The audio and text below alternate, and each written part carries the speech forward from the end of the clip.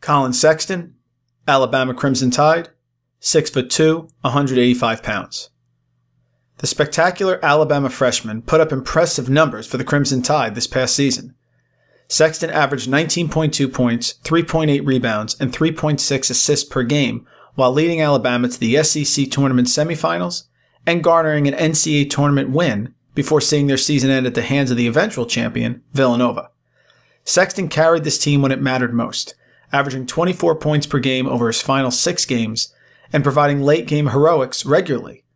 Sexton's most memorable game, of course, came against the then undefeated and ranked Minnesota Golden Gophers team in the Barclays Center Classic. While playing just 3 on 5 due to injuries and foul trouble, Sexton scored 40 points, grabbed 6 rebounds, dished out 5 assists, all while shooting 4 of 7 from three point range. He provided just what a dormant Alabama program needed swagger, meaningful wins, and relevancy on the national scene. The Screen the Screener podcast fully supports Sexton's early entrance into the 2018 NBA draft, as he always seemed to be at his best in the biggest games.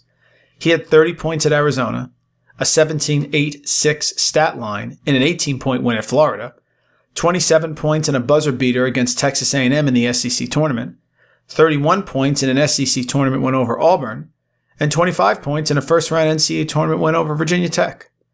However, even with all the shine of Sexton's success, there are still some limiters for NBA scouts. First, his size. He is only slightly bigger than Trae Young and does not possess nearly the same shooting numbers or advanced ball skills. His 33% three point percentage is certainly a concern. However, Sexton's ball handling is strong, and he can always create his own shot. Sexton is confident, brash, and can finish around the rim despite his size. His hyper competitive streak fulfills the highest peak on John Wooden's pyramid of success. If Sexton wows at the NBA Combine and shoots well during workouts, he will be a top 10 pick. However, he needs to assuage concerns about his turnover tendencies.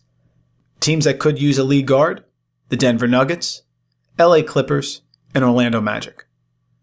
His comparables? On the low end, Ramon Sessions of the Wizards. His high end, Kemba Walker. And a fair old school comparison, Sebastian Telfair. Sexton isn't the perfect top 10 prospect, but he flashed top 10 ability throughout his freshman season. He seems like the perfect late lottery pick, potentially to Charlotte as a replacement for Kemba Walker, who becomes an unrestricted free agent in 2019.